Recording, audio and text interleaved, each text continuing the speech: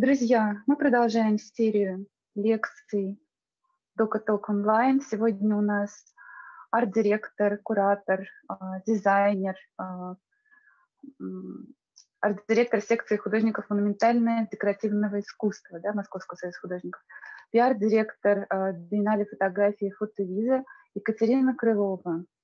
Мы просили Екатерину рассказать о способах э, позиционирования и каких-то коммуникациях, да, внешних коммуникациях прежде всего, которые очень важны в творческих профессиях. Катя, здравствуйте. Вам здравствуйте. слово. Здравствуйте. Спасибо, Ольга. Спасибо большое за представление. Спасибо большое, я хочу сказать также Марине Волынкиной за возможность сегодня быть здесь и рассказать что-то полезное, я надеюсь, вот всем, кто сегодня собрался и присоединяется к нам. А, пару слов. А, как уже прозвучало, я 15 лет занимаюсь архитектурой, дизайном интерьеров. В последние годы добавилась к этой деятельности пиар-направление для Международной биеннале фотографии «Фотовиза», кураторская деятельность в области фотографии, а также я арт-директор секции художников-монументалистов.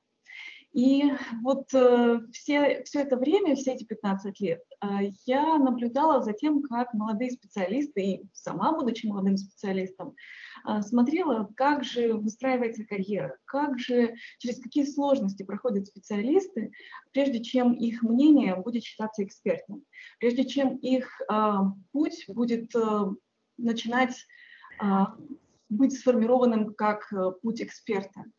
Я обращала внимание, какое количество конфликтных ситуаций люди получают на этом пути и как, сколько сложностей они а, претерпевают. А, я сделала небольшой анализ а, всего того объема внешних связей и коммуникаций, которые приходится испытывать на себе специалистам творческих профессий. Я покажу вам достаточно большой объем навыков, которые необходимо использовать при этих коммуникациях. И, в принципе, покажу, какие направления основные да, вам предстоят. Я думаю, что я обращаюсь в первую очередь, очередь к молодым специалистам тем, кто только начинает свою дорогу, свой путь в профессии, потому что те, кто уже достиг каких-то определенных э, моментов да, в своем развитии, уже наработали определенный опыт, скорее всего. Но я надеюсь, что им тоже, может быть, что-то полезное из моей презентации узнать будет. Но я хочу обратить внимание на то, что очень многому а, из того, о чем я буду сегодня говорить, к сожалению, на сегодняшний день не учат а, в высших учебных заведениях. Очень многому не уделяется достаточно внимания. А вот эти все навыки, о которых я буду говорить, навыки коммуникации, того, как необходимо общаться, того, как необходимо говорить о себе, о своей работе, о своем труде, как выстраивать отношения с людьми, это все является неотъемлемой частью любой профессиональной деятельности творческого человека. Я хочу подчеркнуть именно неотъемлемой. И уделять этому внимание необходимо а, в достаточной степени. Этому тоже нужно учиться. На это нужно тратить время, на это иногда нужно тратить дополнительные средства и время, поскольку без этой составляющей говорить о том, что вы можете стать успешным профессионалом, чувствовать себя комфортно в среде, творческой э, обстановке и, в принципе, в индустрии, говорить не приходится. А, я очень надеюсь, что вот по окончанию нашей встречи сегодняшней у вас возникнут какие-то вопросы. Я более детально смогу на что-то ответить, а пока вот э, постарайтесь э, увидеть вот весь тот объем, который я хотела бы вам представить, и понять, насколько серьезно нужно этим заниматься параллельно с основной вашей деятельностью. Итак, мы перейдем с вами к а, слайдам. А, вот здесь, как э, вы видите, я разделила весь объем коммуникаций, который присутствует в жизни любого представителя творческой профессии на три составляющие. Это профессиональное сообщество, общение с клиентами и партнерами и общение в медиапространстве и с представителями средств массовой информации. А, мы сейчас с вами пройдем по профессиональному сообществу. Если какие-то вопросы возникнут, я буду рада на них ответить. И дальше, я надеюсь, что по окончанию нашей встречи также останется время, и мы сможем а, еще поговорить о чем-то более детальном. Итак, вот здесь а, мы переходим сразу непосредственно к навыкам. А, чуть дальше я покажу список общей профессий, а, которые, в принципе, да, я отнесла вот сюда к профессиональному сообществу. И, может быть, э, вы сможете соотнести, что и как происходит в этой среде. Говоря о том, что Говоря о профессиональном, профессиональном сообществе, я хотела бы подчеркнуть, что мы говорим о людях, которые говорят с вами на одном и том же языке, на одном и том же профессиональном языке, и им не нужно объяснять терминологию, им не нужно объяснять алгоритмы ваших действий и те усилия, которые необходимо приложить для того, чтобы получить какой-то результат. А, вы скажете, что первое, что вы видите, умение слушать. Ну, очевидная же вещь. Да, но я призываю вас задуматься о том, насколько качественно вы это делаете, и помогает ли вам это в упрощении ваших коммуникаций с людьми. А, становится ли вам понятно, о чем вам говорят, почему вам говорят ту или иную вещь, особенно если она идет в разрез с вашими интересами. Понимаете, если вы научитесь эффективно слушать, то вам гораздо проще будет отстаивать в переговорах и в беседах свою точку зрения, отстаивать свое видение, приводить правильные доводы, которые помогут вам а, донести логику вашего повествования и в итоге а, отстоять свое решение в какой-то момент. А, очень сложно этого достичь, особенно когда а, какая-то ситуация с вашими коллегами, партнерами, она выходит за рамки вашей комфортной среды и заставляет вас прилагать дополнительные усилия. Но я призываю вас э, каждый раз, когда вы сталкиваетесь с какими-то трудностями в работе, стараться находить решение. А, ну, в английском есть такой термин win-win, то есть когда а, обе стороны могут достичь решения обоюдовыгодного, в равной степени выгодного для обеих сторон. А, я также призываю вас погрузиться и в достаточной степени изучить то, как э, функционирует рынок вашей индустрии. Вся моя презентация она направлена для специалистов, э, как дизайнеров, как художников, как фотографов, так и архитекторов и представителей, в принципе, других творческих профессий. А, поэтому понимать, как функционирует а, рынок, понимать, как функционирует индустрия в целом, необходимо. А, иногда это не очевидно, и вам может показаться, что вы все понимаете, все знаете, но поверьте, в любом а, деле есть определенные подводные камни. И чем больше вы будете охватывать, чем больше информации узнавать, тем более интересно вам будет а, погружаться в работу, тем больше вы будете понимать, чем и почему продиктованы те или иные действия ваших коллег, ваших э, партнеров и тех, с кем вы встречаетесь в вашей профессиональной среде. А также я настоятельно рекомендую вам изучить ключевые фигуры в вашей индустрии, потому что в один прекрасный момент вам выдастся удивительная возможность поговорить лично с самим а, кем-нибудь, а вы в этот момент можете прекрасно понимать, что он человек знаменитый, но только чем он знаменит, не знать. А, поэтому я, в принципе, вам рекомендую а, постоянно отслеживать а, появляющиеся новые имена, новые тенденции, новые какие-то течения в вашем деле. И это отслеживание новостей, оно на самом деле не просто для того, чтобы запомнить новое имя или какой-то новый проект, который появился на горизонте, но оно позволяет вам также сформировать для себя какие-то новые тенденции, какие-то а, понять течения, которые происходят или только формируются и зарождаются в вашей индустрии. Это поможет вам своевременно и заблаговременно, а, может быть, что-то откорректировать в своих действиях, может быть, э, сыграть на опережение и где-то стать лидером, просто потому что вы тщательно послушали какие-то новости, что-то почитали, что-то почерпнули, сделали выводы, и вот вы предлагаете совершенно новое решение, до которого э, большинство из ваших конкурентов в вашей области еще не дошли. А, мы идем дальше. А здесь же, уж коль мы говорим о профессиональном сообществе, а, э, оно немыслимо, а, общение здесь, оно немыслимо без деловой переписки. И здесь я вас призываю, во-первых, ну, мы говорим о сообщениях, и, естественно, это и смс-сообщения, и мессенджеры. Не посылать голосовые сообщения сразу, как только вы познакомились с человеком. А, ну, казалось бы, такая ерунда, о чем она говорит, да? Но я вам скажу еще одну ерунду. Будьте осторожны со смайликами. Поскольку в один прекрасный день вы выйдете на международное общение, а может быть, вы уже общаетесь с вашими иностранными коллегами. И здесь э, случится такой момент, что вы увидите, что смайлики используются совершенно другие, что эмоции, которые они отображают, совершенно отличны от того, что привыкли понимать под обычными улыбками мы. Поэтому в деловой переписке нужно быть осторожным, внимательным и нейтральным.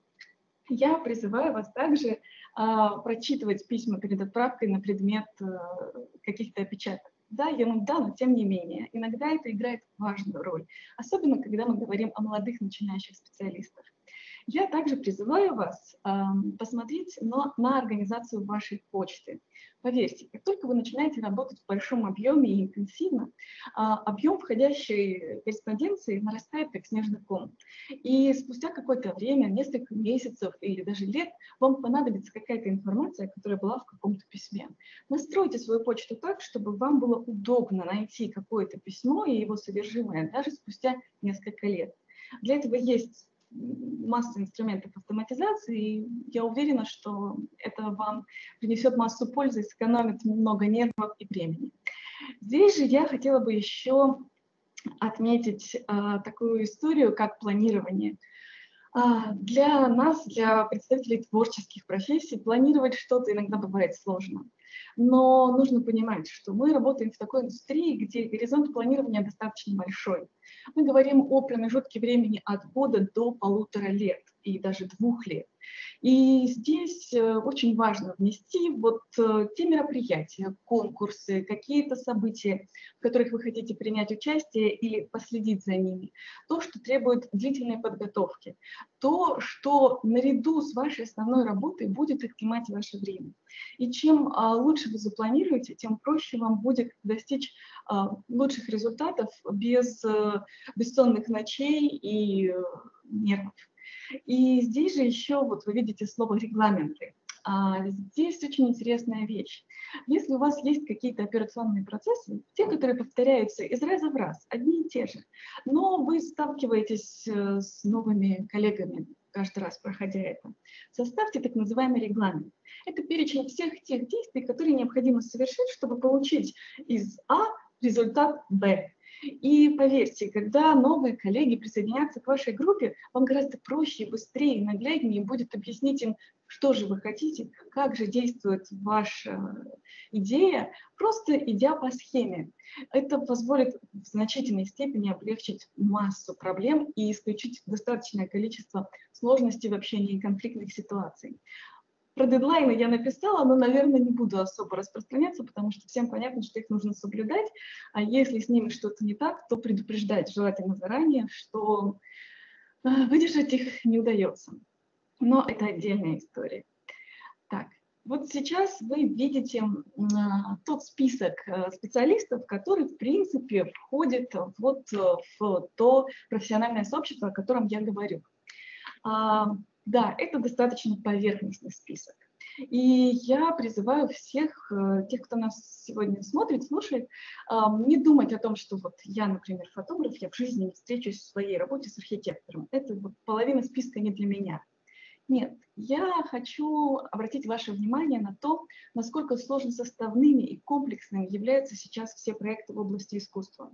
Даже даже архитектура, дизайн, они набирают все больше и больше обороты, усложняются, и э, взаимное проникновение дисциплин э, в мире искусства сейчас э, как никогда нарастает. Поэтому вы, даже будучи архитектором, например, никогда не можете сказать, что вот я с фотографом мне налаживать взаимоотношения не нужно, и объяснять ему, что мне от него, что мне нужно снять, не придется. Вполне вероятно равно как и встретиться однажды с каким-то не очень дружелюбным продюсером, у которого горят сроки и все пропало. Поэтому я пройдусь немножечко по этому списку очень коротко. Вот. А то, что возникнут, у вас есть какие-то вопросы, что останется непонятным, я потом поясню дополнительно.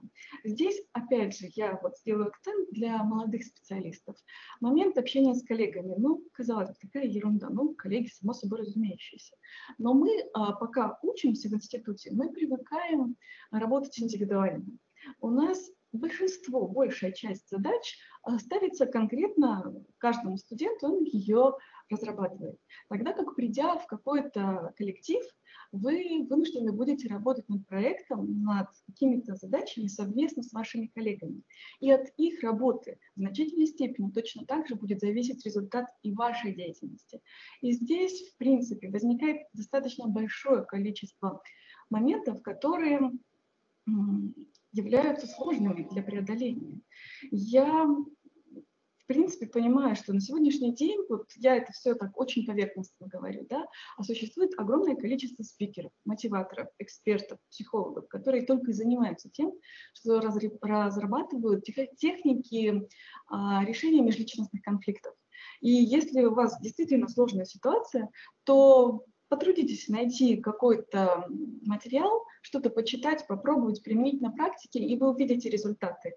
Поверьте, над этим тоже можно и нужно работать. А здесь э, следом идут смежные профессии. Это те, кто а, будет вам помогать, а иногда мешать. И это тоже огромный пласт для недопонимания конфликтных ситуаций. Я приведу вам пример из собственной практики.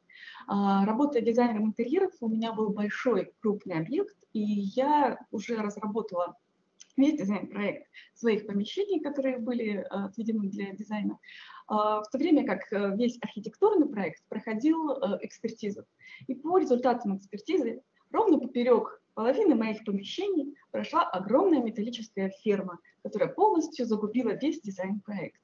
А, можете представить себе, какой объем конфликтных и сложных ситуаций возникает в таких, казалось бы, рабочих моментах? Это и стресс, это и нервы, и они, в принципе, накаляют обстановку до максимальных пределов. Поэтому я призываю вас не пренебрегать какими-то вот э, историями для изучения, чтобы снимать э, такого рода стрессовые ситуации как можно мягче, снижать накал страстей и плодотворно работать, несмотря ни на что. А вот из этого списка я хотела бы такое еще выхватить вот несколько особо каких-то пунктов. Вот, например, а, я хочу отдельно сказать о критиках. А, в любой сфере есть такой пласт специалистов как критики. И если критика на вашу деятельность прозвучала в публичном пространстве, то необходимо уметь правильно на нее реагировать. Опять же, есть масса техник о том, как трансформировать а, критические замечания в себе на пользу, обратить их во благо. А, я больше чем уверена, и я надеюсь, что всех вас ожидает впереди замечательная карьера, и никаких сложностей с критикой у вас возникнет, возникнуть не должно, но тем не менее это может случиться. А, Причем далеко ходить не нужно, это могут быть не обязательно экспертные заключения. У нас есть э, у всех э, скорее всего, у всех представления в интернете, я имею в виду соцсети, о них мы поговорим чуть дальше. Вот, но и там критиков достаточно. Они не всегда компетентны, но э, их слова звучат в публичном пространстве, на них нужно уметь реагировать. И я еще раз подчеркну, что оставлять это без внимания не стоит. А еще один такой значительный пласт того, о чем мы говорим, это те, кто представляют профессиональное а, сообщество именно арт-рынка, представители арт-рынка, это вот галереи, арт-дилеры, музейные институции. И здесь тоже совершенно определенная своя специфика, которая а, базируется на принципах рынка, то, о чем я говорила немного э, ранее, это то, что нужно понимать, как и почему они функционируют. А, естественно, безусловно, вы никогда не узнаете на 100% и наверняка, чем продиктовано то или иное события, отношения или какие-то э, новости, э, связанные с вашей деятельностью, если они затрагивают какие-то из этих институций. Но, понимая, как действует э, арт-рынок, вам станет проще понимать, что же происходит, чем вызваны те или иные действия. И отдельно еще стоят отраслевые события. Здесь у нас скрываются в этой строчке и конференции, и конкурсы, и фестивали, и выставки, все то, что требует дополнительного усилия, заблаговременной подготовки, а, большого объема бессонных ночей и а, дополнительных визиток, если мы говорим о международных событиях, чтобы они были не двусторонние, а нормальные, одноязычные, односторонние, красивые. Это, опять же, подготовленность ваших онлайн-ресурсов для того, чтобы вы могли продолжить знакомство и перевести его в онлайн. И, в принципе, ваше умение выстраивать нетворкинг. Это бесценное качество, которое, опять же, повторюсь, необходимо прокачивать, говоря современным бизнес-языком. Без нетворкинга сейчас очень тяжело. И ну, не будем греха таить, все, что мы достигаем, оно лежит э, именно в плоскости, в первую очередь, человеческих взаимоотношений. А уже дальше мы двигаемся и продвигаем результаты нашей деятельности. А, вот по этому списку, в принципе, у меня а, все по профессиональному сообществу. Если есть какие-то вопросы, я готова на них ответить. Или мы идем дальше и все вопросы оставляем на, в конец нашей встречи.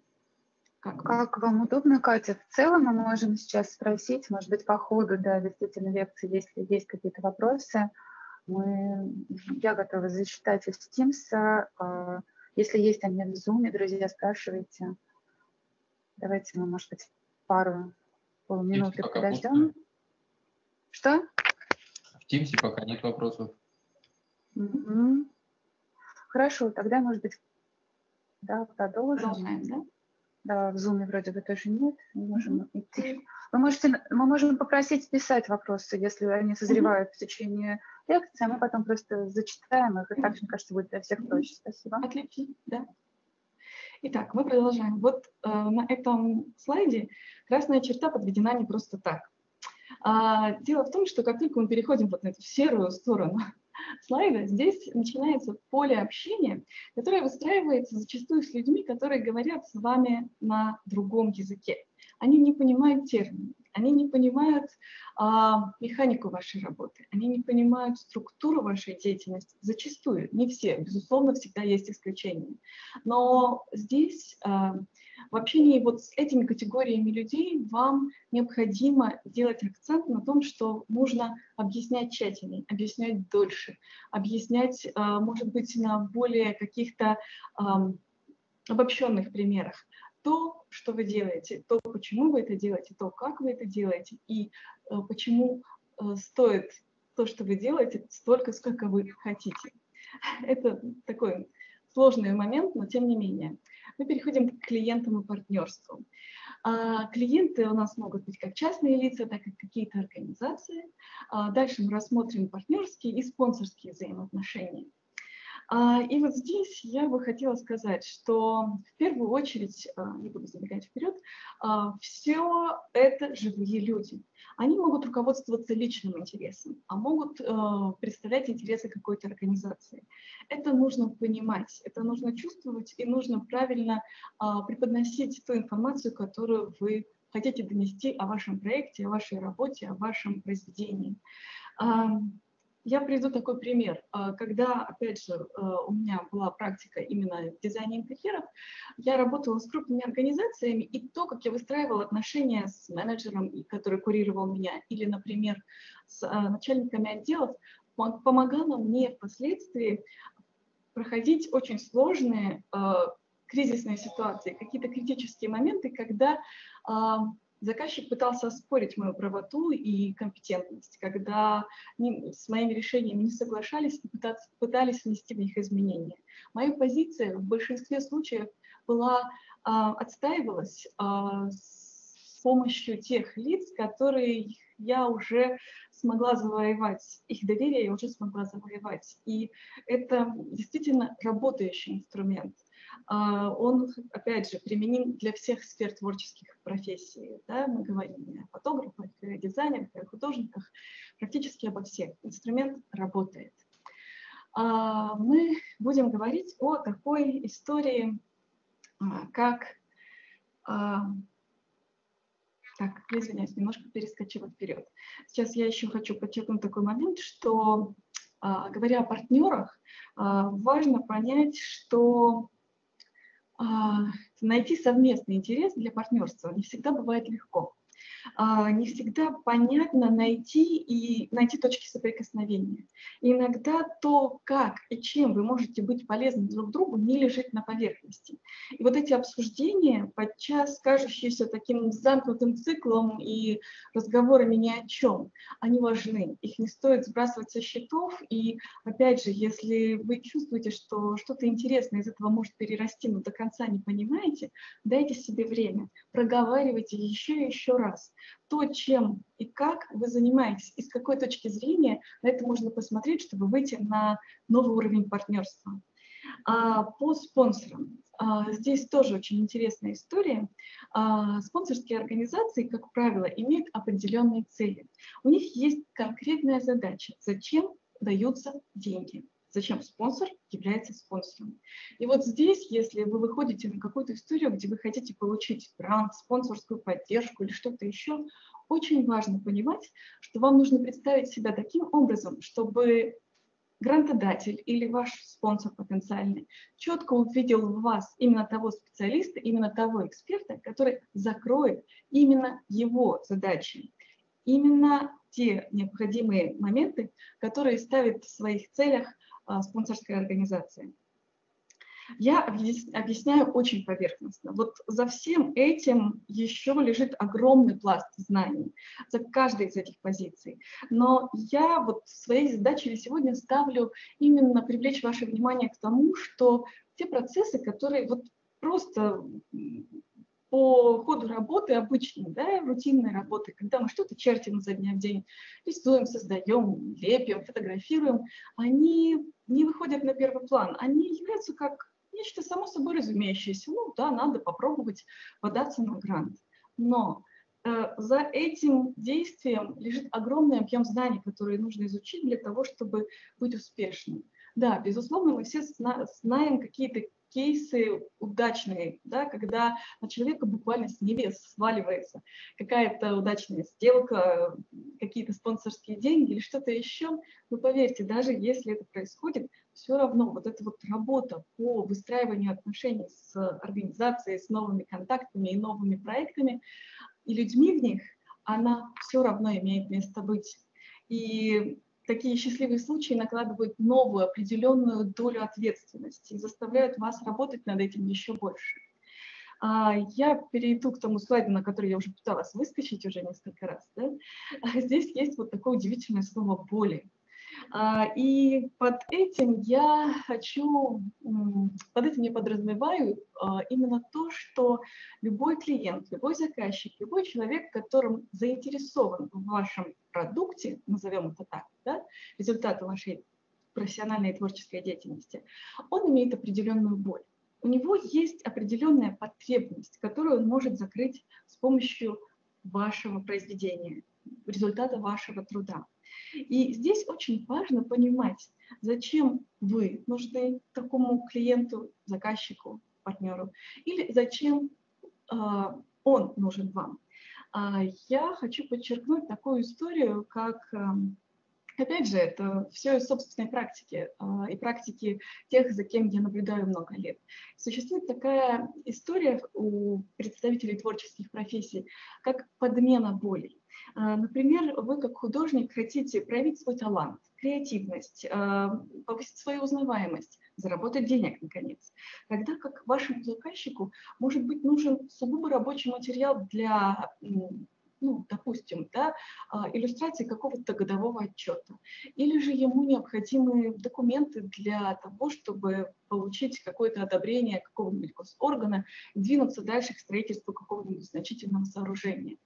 А если вы будете а, путать и подменять э, какие-то э, точки соприкосновения с вашими клиентами, то из этого, к сожалению, ничего хорошего не выйдет при а, отсутствии вот этой сонаправленности боли и того, что вы делаете а, находите свое вдохновение и находите вот реализацию своих потребностей строго в рамках запроса заказчика, вот именно эта направленность, она а, позволяет добиваться конструктивных решений и создавать по-настоящему качественный результат, которым вы сами будете довольны.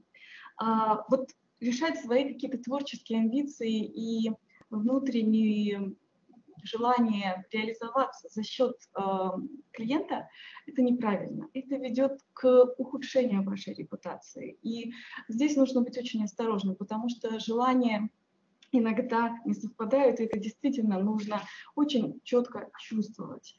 Э, я э, хочу сказать такой момент, что э, да, безусловно, найти такое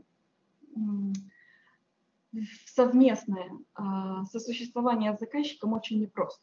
Для этого нужно пройти целый ряд каких-то, а, ну, скажем так, притирок, чтобы понять человека лучше, чтобы понять организацию лучше. И здесь очень важно а, говорить о языке общения. Здесь э, нужно понимать, что иногда вас не понимают как я уже говорила, да, слово темпера никому ничего не говорит, равно как и то, каким светом вы будете пользоваться для съемок, для съемок тоже может волновать. И здесь а, важно понимать, а, как донести до человека, с которым вы контактируете, а, ту информацию, которая вам нужна, наиболее качественным образом.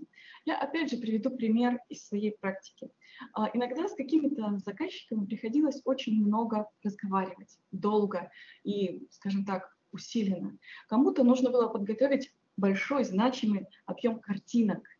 А, пока он их смотрит, просматривает э, раз за разом, информация лучше усваивается у такого человека. А кому-то нужно было распечатать пакет чертежей, положить на стол а, формат А3, сшитый в красивом переплете, и дать подержать в руках.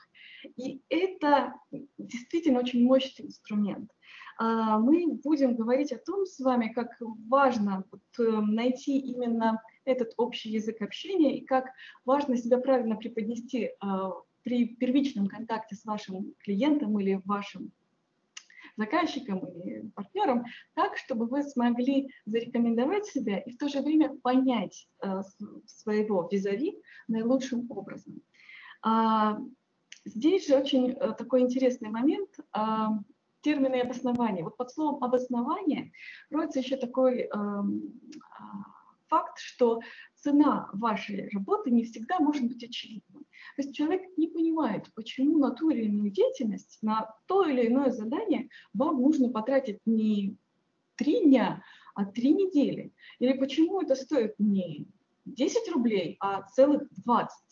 И Поверьте мне, что иногда это абсолютно не очевидно. Особенно если люди, ваши клиенты, они сталкиваются с представителями творческих профессий впервые. Да, такое бывает. И действительно, для них это совершенно новый мир. А, они чувствуют себя дискомфортно, разговаривая с вами. Они действительно вас не понимают и где-то даже опасаются, потому что а, то, какими категориями вы разговариваете, то, э, какими категориями вы мыслите, и то, о чем вы говорите, подчас является для них темным лесом. И вот чем светлее вы сделаете вот этот самый лес того, о чем вы говорите, тем проще им будет согласиться заплатить вам нужную сумму, нужную вам сумму, тем проще им будет э, принять те сроки, которые, может быть, их не совсем устраивали в начале. И это действительно очень важный и работающий инструмент э, убеждения и донесения того, как, что вы, о чем вы и почему вы делаете что-то так, а не иначе.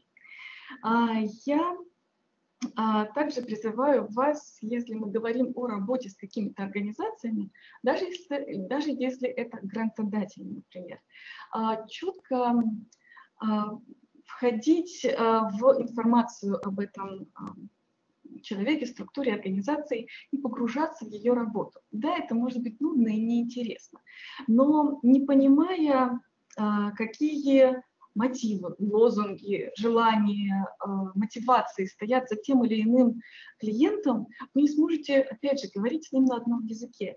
И как только вы понимаете и чувствуете вашего клиента, вот здесь и происходит та сонастроенность, о которой я говорила, сонастроенность боли. Вы понимаете, как вы можете лучшим образом выразить себя, как э, представитель творческой профессии, строго в рамках того, что действительно нужно вашему заказчику. Поверьте, это удивительный и интересный опыт, когда происходит вот это вот слияние интересов ваших и вашего полета фантазии и конкретных желаний и конкретных потребностей вашего заказчика. А, я а, также хочу сказать а, вот э, о таком моменте, как техническое задание. Мы понимаем, что если проект может быть большой, проект может быть маленький, от вас могут чего-то хотеть, и люди могут не понимать, как вам это объяснить. Поэтому очень важно не пренебрегать техническим заданием. А, составлять его я рекомендую совместно с вашим заказчиком. Для этого можно сделать, например, форму-опросник. Да, и вы идете по ней и, задавая какие-то вопросы, выясняете наилучшим образом, чего же от вас хотят.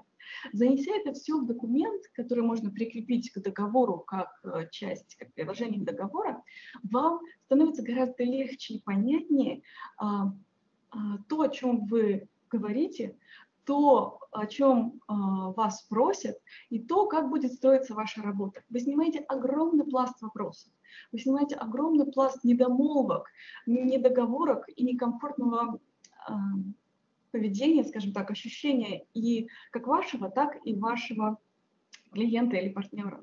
И здесь еще один, а, нет, не здесь. Так, следом будет, значит, еще один момент. А здесь о навыках дальше хотела бы поговорить. А, как продолжение вот того, о чем я сейчас говорила, это, к сожалению, необходимо овладеть этим в какой-то степени, для того, чтобы вот все то, о чем я уже так долго вещаю, стало возможным. Да, нужно уметь правильно себя преподнести. Да, иногда пойти на какие-то компромиссы в собственной одежде и внешнем виде, чтобы выглядеть так, как вас проще воспринять для первого контакта, да, для первой встречи с заказчиком.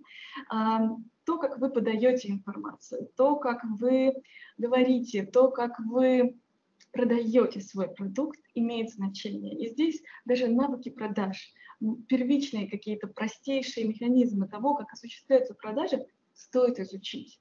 А, то, как ведутся переговоры. Я еще раз хочу подчеркнуть, что а, вам может казаться, что то, что вы делаете, абсолютно очевидно. И выгода от того, что вы делаете, тоже абсолютно очевидна всем тем, с кем вы общаетесь. Но на самом деле это может быть не так. И сейчас я а, вам говорю это не просто так. Я сталкивалась с этим на совершенно разных уровнях, скажем так, работы. И э, среди начинающих профессионалов, и среди крупных компаний, и среди крупных организаций люди раз за разом сталкиваются с тем, что они не до конца понимают, чем они могут быть выгодны друг другу, и почему же их переговоры остаются безрезультатными, почему не подписываются договоры, почему не происходят сделки, почему э, не работают проекты. Вот эта очевидность, она не всегда очевидна.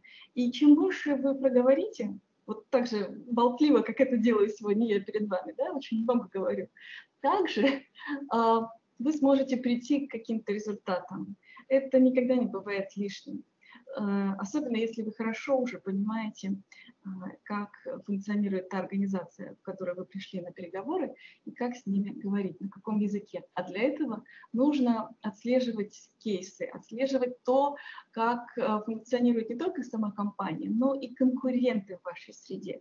Возможно, уже кто-то с кем-то до вас разговаривал, и вы пришли туда, где до этого были ваши конкуренты.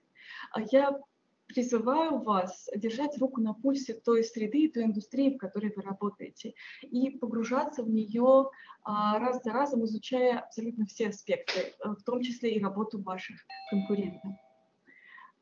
А, так, про внешний вид я уже сказала, ораторское мастерство.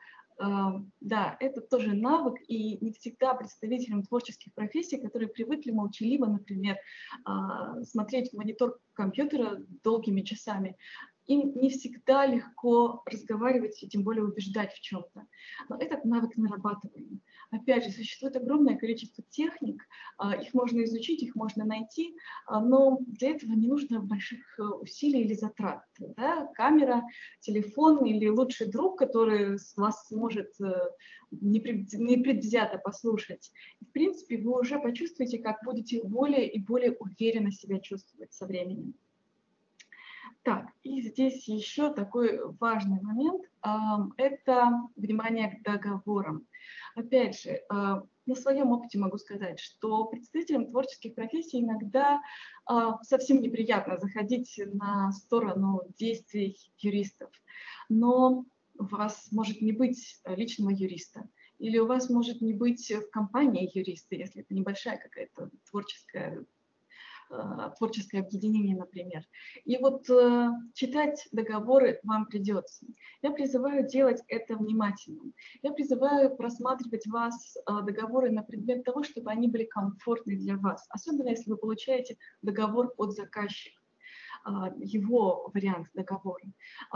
Поверьте, что если там написано, что вы обязаны делать 10 вариантов одного и того же эскиза или одного и того же продукта, то вам придется их делать, даже если вы оговаривали, что это будет всего 5 вариантов.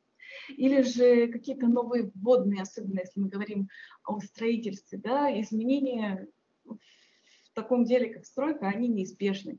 И вот это количество изменений, которые вы согласны вносить в свой проект, тоже должно быть прописано. А, санкции, сроки и прочее, прочее, прочее, все это может в значительной степени усложнить вам жизнь и подпортить э, настроение от проекта. Поэтому а, до подписания, до того, как э, происходит какой-то контакт э, с партнером, с клиентом, даже со спонсором, договор нужно тщательно изучить и быть готовым к тому, что конфликтные ситуации могут возникать. И чем э, правильнее и грамотнее составлен договор, тем э, более защищенными вы будете себя чувствовать, и тем меньше конфликтных ситуаций будет возникать. А, так, я буду переходить дальше. А, ну, я так понимаю, что вопросов, наверное, нет. Я, по крайней мере, не вижу. Поэтому я перейду дальше. Туда, где, наверное, будет интереснее всего, а, поскольку когда мы, в принципе, говорим о ну, продвижении, позиционировании, контактах, на сегодняшний день на ум приходит прежде всего онлайн-представленность. Я думаю, что для многих из вас то, что я вот говорила в первых вот двух частях своей презентации, вообще в принципе является таким достаточно удивительным и, может быть, непривычным и некомфортным. Но тем не менее, медиапространство – это то, что дополняет вашу деятельность. Оно не является основной вашей э, деятельности. Поэтому э, мы подходим к нему именно э, напоследок. Итак, здесь мы с вами рассмотрим э, онлайн-представленность, работу с журналистами, медиаплатформы и пиар-агентства, как выстраивается работа с ними. А это все, в принципе, является продолжением вашей деятельности, основной работы. То, как вы освещаете ее, то, как а, они узнают окружающие. Это все очень, а, опять же, кажется подчас ну, таким само собой разумеющимся. Ну, выложу что-нибудь. Но поверьте, а, выложу что-нибудь работает до определенного момента. Я очень надеюсь, что многие из вас э, со временем станут достаточно знаменитыми, весомыми специалистами экспертами, и это уже будет отнимать значительную часть вашего времени, и абы как сделать не удастся. И то, что вы будете выкладывать, должно соответствовать вашему уровню. Я предлагаю начать думать об этом, заботиться об этом с самых первых шагов.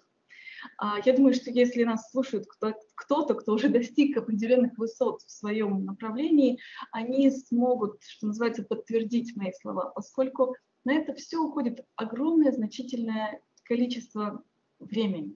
И чем правильнее вы начнете делать что-то с самого начала, тем больше времени вы сэкономите, а иногда и денег. Итак, персональный сайт. Первое, что вы видите здесь э, на этом слайде, я Рекомендую вам сразу начать и сделать сайт э, двуязычным. А, это никогда и никому еще не помешало, а переводить потом большой объем информации, накопившийся на сайте, ну, уже, согласитесь, не так приятно. А, я хочу сказать такой момент озвучить. Он интересен для тех, кто, в принципе, будет э, работать наемным сотрудником большую часть своей карьеры. Это может быть э, дизайнер в крупной компании, да, или э, архитектор в крупной компании, или даже фотограф в крупном агентстве. И я предлагаю не пренебрегать возможностью иметь свой сайт, поскольку у нас психологически заложено так, что если мы видим у человека на визитке свой персональный сайт, это сразу Э, ставит его в определенный ряд экспертов. И то, что вы являетесь наемным сотрудником, совершенно не означает того, что вы не имеете права иметь свой собственный сайт. Как продолжение своей визитки. Как та платформа, где собрана абсолютно вся информация о вашей профессиональной деятельности. Поверьте, то, что у вас будет ресурс, где будет размещена информация о вас, ваша биография, ваше творческое высказывание или профессиональное кредо, а, ваше обновление, новости о вас, какие-то статьи, в которых вы упоминаетесь или наоборот, которые вы публикуете, а, ваше портфолио, наконец.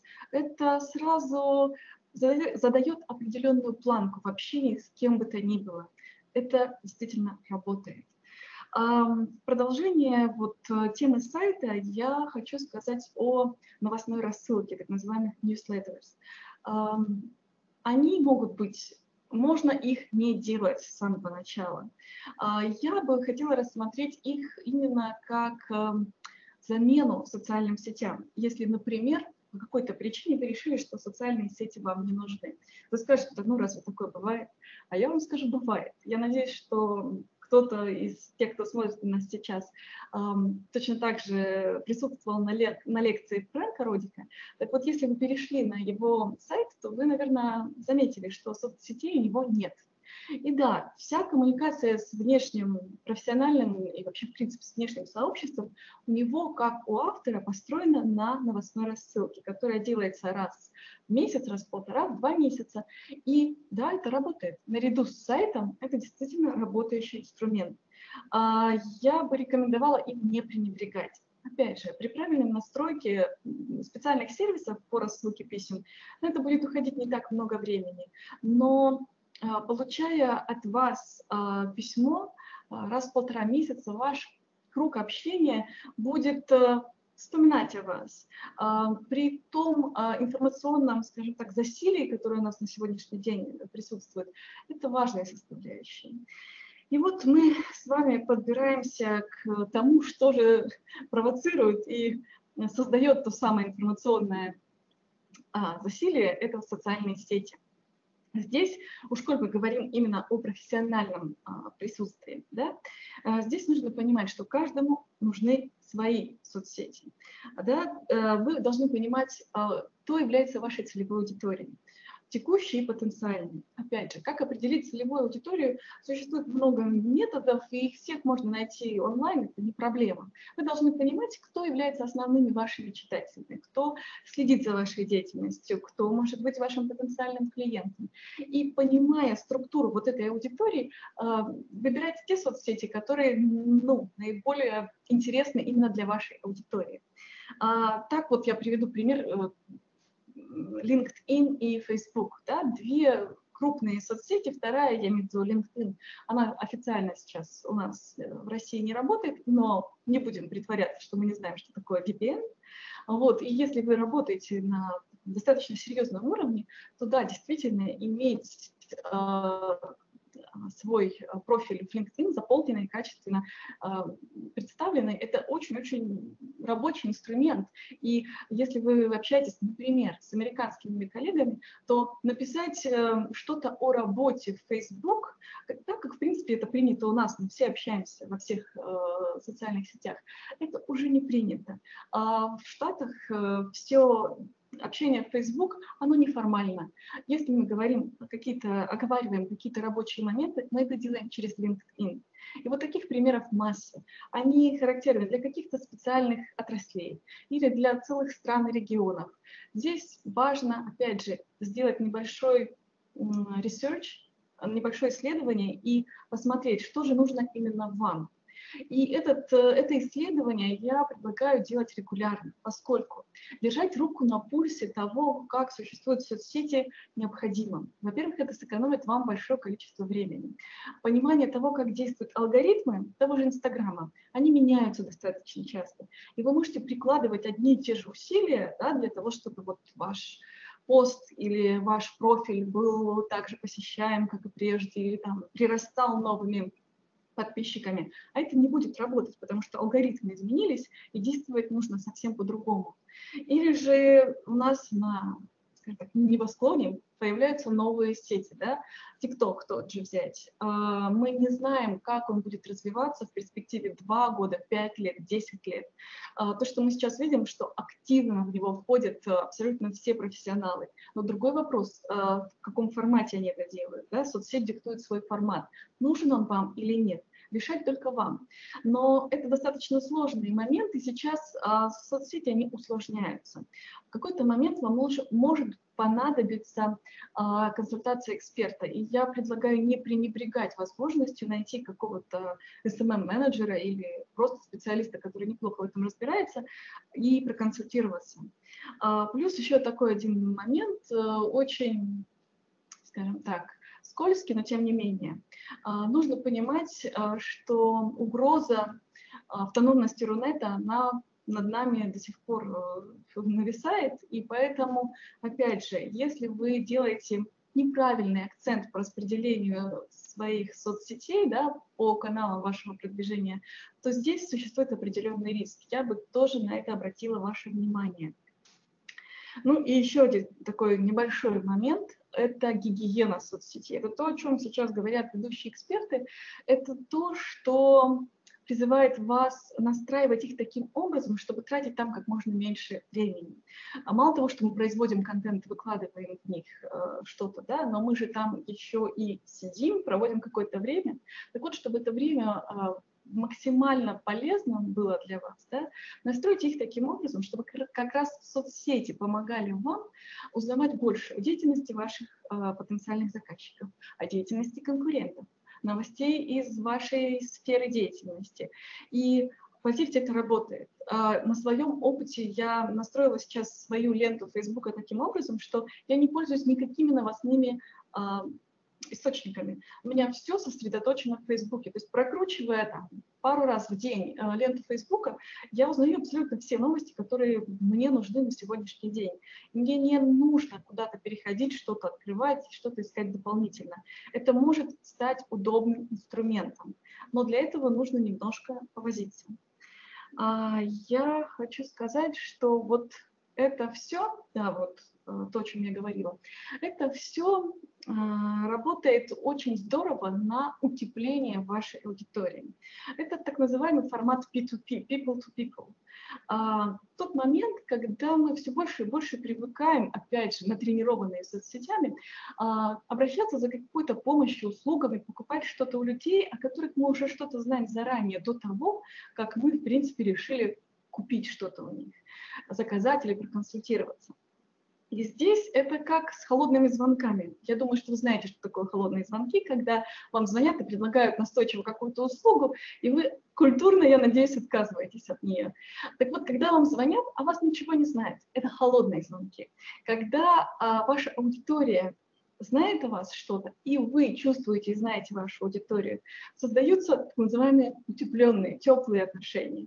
И здесь вероятность того, что а, какая-то потребность будет закрыта именно с помощью ваших услуг, именно с вашей помощью, а, вероятность здесь возрастает в разы. Это действительно работающие каналы продвижения, работающие каналы продаж, и действительно они, а, как бы это правильно сказать, они работают на вашу компетенцию и ваша, вашу имиджевую представленность. А, я перейду к тому, что мы будем обсуждать а, о журналистах и СМИ. А, поскольку, когда вы сталкиваетесь вот с этим разделом, работая с теми, кто пишет, издает и публикует что-то, здесь нужно использовать несколько другие инструменты. Нужно понимать, как функционирует вот именно эта среда пишущих и публикующих и э, собирающих новости э, экспертов, специалистов. Э, сюда же я несу и пиар-менеджеров каких-то мероприятий, в которых вы, может быть, будете участвовать. Поверьте, первое, что вас понадобится, это ваш портрет. А я еще раз призываю вас, чтобы в сети у вас был ваш официальный портрет, поскольку у меня у самой были такие случаи, когда я, не найдя на официальном сайте фотографа его портрета, того, как выглядит он сам, а, шла в интернет находила какие-то фотографии, выбирала самую нейтральную из тех, что я находила, и вынуждена была использовать ее, так как автор, например, мне сам лично ничего не представил. Потом, когда человек лично приезжает познакомиться со мной, он говорит, почему же ты поставила такую плохую фотографию?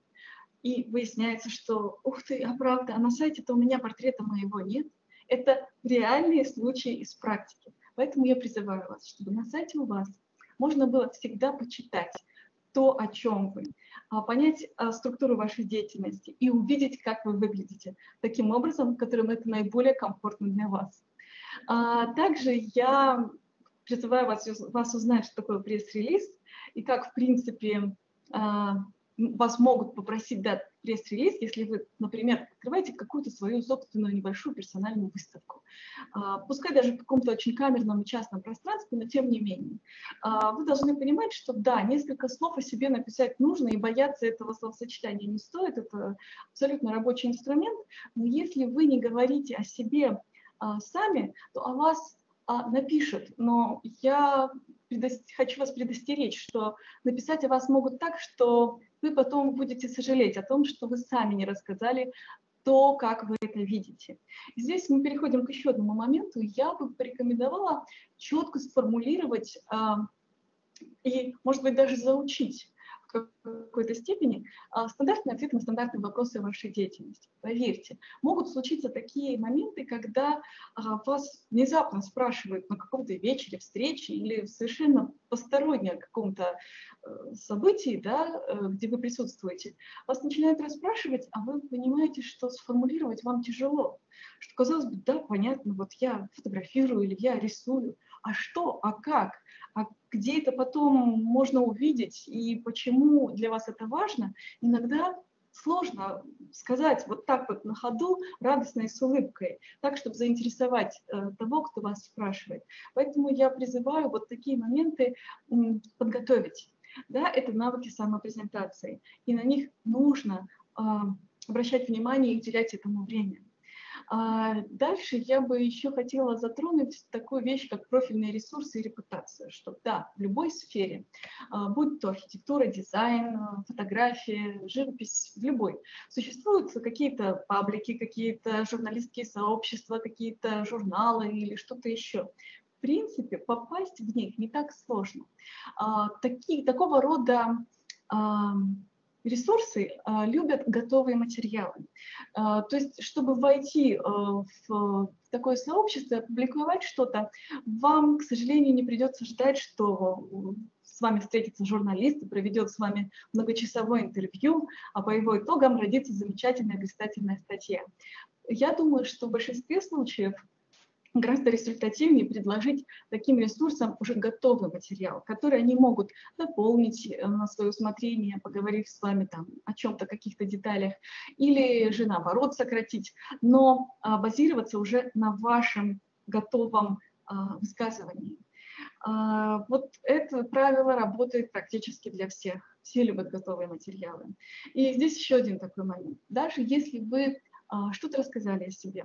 А, или у вас э, происходит статья, публикация, все замечательно. А, не пренебрегайте возможностью прочитать э, какой-то материал перед тем, как он будет опубликован. Очень часто, к сожалению, журналисты на сегодняшний день, скажем так, без должного энтузиазма относятся к своей работе. И отсюда возникает достаточно большой объем ошибок, опечаток, а, искажения фактов. Поэтому проверять нужно все. Регалии, имена, а, награды, формулировки, звания, все-все-все.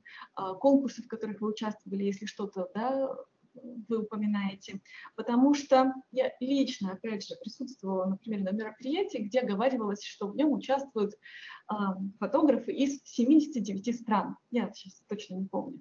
Я смотрю в этот же вечер э, на канале «Культура» новостной сюжет, где говорится красиво диктором о том, что из 15 стран были участники. И вот эта нестыковка, она возможно на любом уровне. Это не только характерно для местных СМИ или для онлайн каких-то сообществ.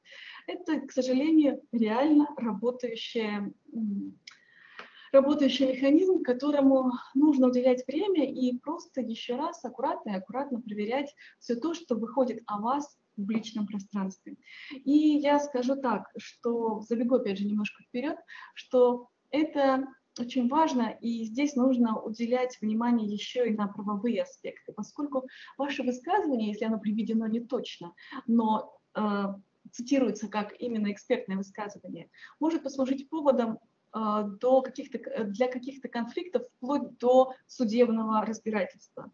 А, опять же, я говорю сейчас о вещах таких, которые, может быть, не, ну, неприменимы для молодых специалистов, но это очень важный момент, если вы натренируетесь с самого начала, с самых первых контактов с э, сообществом журналистским и медиапространством, а, отдавать внимание должное тому, что, как а, вы говорите и что о вас публикуется, это поможет вам в будущем, когда вы выйдете на определенный уровень, снять достаточно большой пласт проблем. И если говорить э, вот уже о большом и крупном высоком уровне и крупной значительной представленности в индустрии, то здесь могут возникнуть такие моменты, когда вам придется работать с пиар-агентствами, например. Да?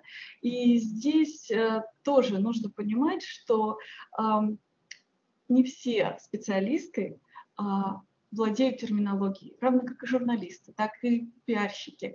Они не всегда знают и понимают, о чем вы говорите нужно объяснять, нужно подчеркивать и нужно проверять, э, правильно ли вас э, понимают и правильно ли о вас рассказывают дальше. А, вот, ну и здесь еще такой момент, который я немножечко пропустила, это то, что сейчас на сегодняшний день очень сложно достичь, это вот заинтересовать просто так собой СМИ. К чему а, что вызывает интерес? на что а, представители средств массовой информации лучшим образом реагируют. Вот здесь я написала о том, что это какое-то громкое событие или какие-то значимые лица в индустрии, которые присутствуют на этом событии или принимают в нем участие, или какие-то бренды, или сама площадка, где происходит какое-то мероприятие, она сама по себе привлекательна для СМИ. А если вот этих четырех составляющих нет, то для того, чтобы о вас а, сказали, рассказали и а, запечатлели вас для какого-то источника информационного, здесь нужно будет потрудиться. И не стоит обижаться, что вы создали что-то или провели блестящую выставку, а никто не пришел. Поверьте, сейчас такая насыщенность информационная, что действительно привлечь внимание средств массовой информации – нужно постараться. Здесь, конечно, могут еще сослужить э, добрую службу личные взаимоотношения с журналистами. А, но, опять же, для этого нужно найти журналиста, подружиться с ним и поддерживать эту дружбу так, чтобы вам обоим было интересно, приятно общаться и работать, каждому в своей сфере. Это тоже возможно, и это все вот э, как раз отсылает нас к тому, что я рассказывала в предыдущих разделах. Я практически завершила а, свою длинную речь, и я хочу такую маленькую подвести черту, которая, я надеюсь, вас немножко приободрит после всего того объема, который я вам выдала. Это то, что вот все, о чем я сегодня рассказывала, оно формирует личный бренд. Да, это такое бизнес-понятие, которое, в принципе, может быть, на первый взгляд, неприменимо для художника. Но тем не менее, а, личный бренд, как само, само понятие, работает – и чем больше вы уделяете этому внимания, чем качественнее вы работаете над этим, тем а, выше какие-то нематериальные возможности, которые у вас появляются, а какие-то дополнительные варианты для развития, роста, продвижения возникают казалось бы, сами собой, хотя на самом деле они являются результатом вашего труда. Ну и плюс здесь э, даже дополнительная монетизация. Вы как специалист, как эксперт становитесь дороже, если правильно выстраиваете вот весь тот объем коммуникаций, о котором я сегодня так долго рассказывала. А, я еще такой вот а, момент хочу подчеркнуть, что не забывайте, пожалуйста, что а, если вы что-то сделали хорошо, рассказали, опубликовали, то точно так же, а лучше еще и с эм, некоторым таким большим рвением нужно рассказывать о новых достижениях. Не забывайте постоянно публиковать и обновлять ваши онлайн-ресурсы. Поступательно наращивать экспертность. И самое важное, как только вы почувствуете, что вот эта вся дополнительная работа захлестывает вас с головой, а, рассмотрите возможность а, привлечения дополнительных специалистов, которые бы взяли на себя именно эту работу по формированию вашего личного бренда, по ведению представленности, э, вашей представленности э, в средствах массовой информации, в соцсетях и на каких-то мероприятиях. Да, возможно, я сейчас это говорю молодым специалистам, которые даже пока помыслить об этом не могут. Но поверьте, если вдруг резко у вас пойдет карьера в гору, то это может стать действительно ну, своего рода спасением, когда вы почувствуете, что времени на все у вас просто не хватает. А, я надеюсь, что вот этим вот э, своим большим выступлением сегодняшним я смогла а, привлечь ваше внимание именно к важности э, вот введения вот э, этих параллельных, этих неотъемлемых навыков и наращивания их, и углубления а, параллельно с вашей основной деятельностью. Я еще раз подчеркну, что без всего этого на сегодняшний день стать по-настоящему крупным специалистом, настоящим, а, скажем так, а, экспертом, скорее всего, не удастся. Или будет очень и очень сложно. Я желаю всем удачи, и если есть какие-то вопросы, я с радостью на них отвечу.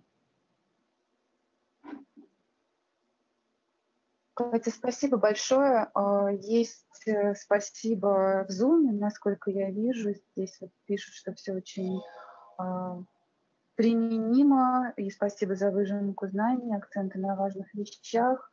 А, в Teams я пока не вижу вопросов, но думаю, что, может быть, сейчас они еще будут. И, друзья, если у вас есть вопросы в Zoom, пожалуйста, пишите или можете даже спросить э, голосом. Я думаю, что Катя ответит. У меня такой вопрос. Если ты все-таки действительно молодой специалист, и у тебя вот э, не очень часто не, не формируется, в, пока ты в поиске да, себя даже, не формируется какое-то понимание а, вот именно не то что личного бренда даже, а какого-то позиционирования, что ты художник. И денег у тебя на SMM-специалиста тоже нет. А стоит ли кидаться в разные какие-то сферы? Есть ли какой-то ну, не то чтобы способ, не то чтобы один путь, но как-то это минимизировать, вот это не распыляться, чтобы, ой, давайте я сунусь вот сюда, давайте я сунусь сюда с этим. Есть, как вам кажется, есть какой-то вот минимальный путь того, как решить этот вопрос, куда, куда себя применить? Я понимаю, что это поиск, но, может быть, есть какие-то, э, да, уже протоптанные пути.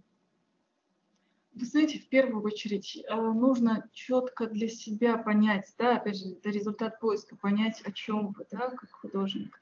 Это, э, опять же, лежит немножко в другой плоскости. Э, здесь скорее работа с кураторами, работа с экспертами может понять вам, помочь вам понять вот это направление, да. Только вот опять же в таком тесном взаимодействии с такого рода экспертами, вам может быть легче понять и прочувствовать себя. А, просто вот то, о чем я сегодня говорила, оно в принципе не обязательно подразумевает под собой уже четко сформулированное понимание, кто ты. Я вам скажу даже опять же о себе. То есть у меня а, сейчас такое количество направлений, которыми я занимаюсь, что когда меня спрашивают, кто вы по профессии, я теряюсь иной раз, да, и у меня на разных ресурсах разное, и я э, понимаю, что, да, не делать этого ну, я, не осуществлять представленность невозможно. Но в то же время процесс вот этого а, определения, поиска и формулирования он все равно еще продолжается, даже спустя 15 лет, mm-hmm. и будет продолжаться еще долго. Поэтому я, в принципе, вот э, предлагаю не откладывать на потом просто это, это, всю эту деятельность, о которой я сегодня говорила. И опять же, даже вот те же навыки общения, они применимы даже к работе с кураторами. То есть то, как вы вот э, там, на портфолио ревью садитесь, и у вас есть 20 минут для того, чтобы рассказать о себе, это же бесценно. То есть вы должны именно в них вложить все. Да, фотографии говорят, но вместе с тем должны говорить и вы. Поэтому здесь такой момент. Ну, то есть получается, что если художник, а зачастую художник э, может быть интровертом или даже дизайнер, который не умеет разговаривать, не может себя позиционировать, хотя, на мой взгляд, я считаю, что дизайнер все-таки должен а, уметь себя презентовать. Это такой а, скилл, который должен быть прям включен в опции, да, ну, в опции, вернее, которая должна включена быть. Вот. И, а, ну вот бывает очень часто художниками там еще чаще. То есть тогда он должен понимать, что если я в этом не могу развиваться, а хочу быть а, успешным, мне нужно находить человека, который будет мне в этом помогать, куратора или СММщик, или, ну, то есть какого-то кто-то рядом, кто тебя чувствует, понимает и понимает, куда тебе надо двигаться, да, то есть это вот как бы два пути только, либо ты сам э, это классно делаешь и понимаешь, и разбираешься и делаешь, либо тебе нужен кто-то, кто это делает из тебя. Ну, здесь важно понимать, что куратор – это совершенно определенное направление деятельности, да, и взаимодействие с ним. И цели такого общения, они отделены от того, чем занимается SMM-специалист. Да, это как бы две области, которые идут параллельно, э, но а, ну, они действительно не пересекаются, то есть они неотъемлемы друг от дружки, да, но это совершенно два разных направления. А для интровертов, почему вот я и затронула такой момент, я говорила о нем, что важно иной раз заучить что-то. Да, вам может быть страшно и тяжело говорить, и вы чувствуете себя некомфортно. Но а, вы, если вплоть до того, что вот наизусть заучиваете что-то о себе, и сначала вот выдаете эту вот э, поговорку, вам уже чуть-чуть легче, вы уже вот этот вот первый страх и лед разбиваете. И а, опять же, для интровертов существует огромное количество всяких а, специальных техник а, по нетворкингу, да, все понимаем, что без общения ну, никуда все равно, даже если вы очень суровый интроверт. Там есть свои техники, которые рассказывают о том, что там, можно прийти заранее куда-то, да, в то помещение, где вам предстоит общаться, просто освоиться там, и вам уже будет легче. Mm-hmm. Вот таких вот э, маленьких историй э, можно собрать очень много, и действительно даже в самом крайнем случае э, как-то себя вот, что называется, прокачивать, опять же, говорить а, говоря бизнес-языком. Угу. Да, в Zoom есть э, в чате несколько вопросов. И а, спасибо за такую структурированную информацию, полезные рекомендации. А, можно ли получить презентацию? У нас будет запись лекции Екатерины. У меня вопрос про соцсеть Одноклассники, насколько данная сеть подходит для творческих профессий. Угу. Именно Одноклассники, да? Ну, Здесь... Видимо, да вопрос по региону. У нас по стране а, соцсети разделяются по регионам. То есть одноклассники, у них есть достаточно сильные, сильные позиции в региональных, вот, э, в некоторых регионах. В принципе, и я слышала отзывы о том, что по югу страны, например, до половины всех клиентов люди э, приводят э, к себе, ну, я говорю сейчас о таких э, стандартных бизнесов, но тем не менее mm-hmm. до половины всех клиентов приходят из одноклассников. И регионы, вот э, уральские, да, регионы и, и за Уралом, там тоже это очень сильно развито. Поэтому, в принципе, да, я бы рекомендовала, если у вас какой-то есть продукт и понимание, что там ваша аудитория, да, сбрасывать со счетов одноклассники нельзя.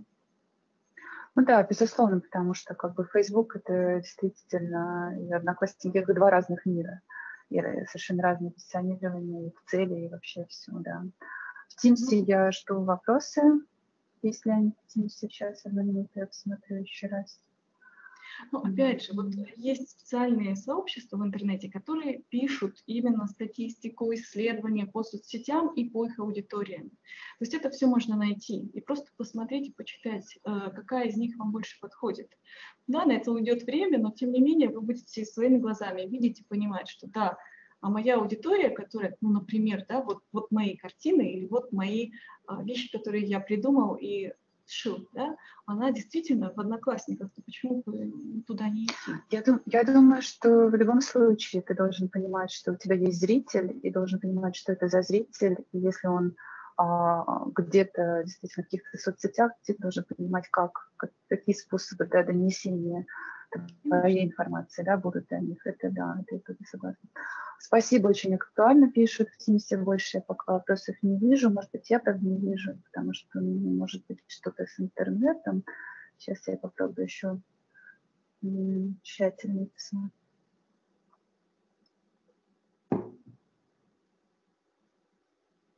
Нет, спасибо. Спасибо. Пока вопросов больше нет. Вот. А, так, в зуме давайте еще посмотрим, если встречаете вопросы. На те, которые были, мы уже ответили. Друзья, если у вас вопросы еще, скажите, напишите. Пишут спасибо. А, да. Спасибо, спасибо. Это все спасибо. Да.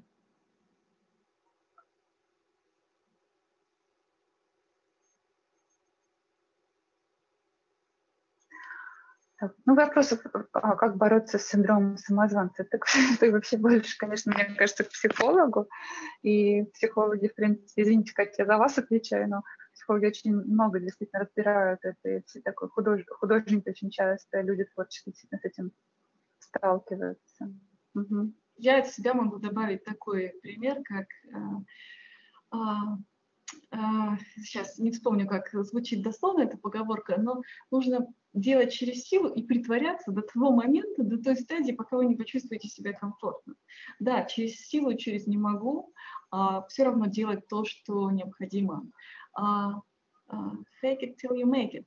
Кажется, так это звучит по-английски, да, когда вы просто, да, отчасти где-то притворяетесь, где-то, может быть, даже играете, что называется, но делаете через силу, и со временем это становится навыком. Как только вы перейдете, переведете это в навык, в привычку, вам полегчает, и вы сможете двинуться дальше. Ну, такой самый простой, примитивный момент, вариант а дальше да, уже в область психологии. Ну да, интересно, что нет, ну да, интересно, что с синдромом самозванца сталкиваются как раз люди совершенно э, разного уровня, разного образования, разных, разных вообще да. успехов, везения. Это совершенно, совершенно иногда не зависит от того, действительно ли тебе там повезло в жизни или нет. Это больше психологический такой аспект. Естественно. Сейчас посмотрим, да, еще что у нас. Ага, да. Больше вроде бы нет вопросов. И я еще раз проверю Teams. Угу. А, Катя, ну, вроде бы вопросов нет. Думаю, что действительно было такое все исчерпывающее и подробное, и очень-очень-очень полезное. Вот. Спасибо вам огромное за встречу. Вам спасибо. Да, на, на дальнейшее сотрудничество. Вот. Спасибо большое. Друзья, мы заканчиваем тогда вопросы, поскольку не осталось. Всем до свидания, спасибо и до, до встречи. Спасибо, до свидания.